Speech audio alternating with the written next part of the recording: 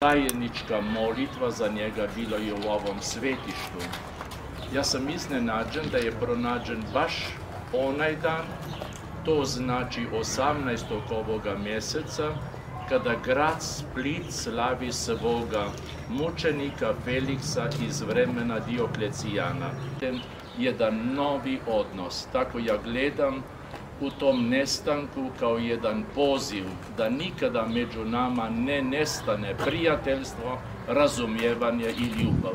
U tom duhu želimo koliko je nama moguće dostojno ispratiti našeg Mateja ne samo do Splita, već što mi vjerujemo u naručje nebeskoga Oca i ubeđan sam da će On biti naš zaštitnik da budemo svi uvijek više povezani. Preko vas, e, prije svega svim vašim gledateljima, čitateljima, htio bih se zahvaliti ovim prilikom, znači,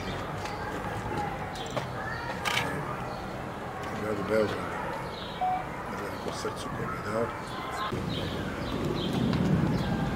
Zahvalio bi se također i Ministarstvu unutrašnjih poslova Republike Hrvatske koje je također radilo posao koji je zahtjevalo Ministarstvo unutrašnjih poslova Srbije. Oni su također napravili posao i hvala im.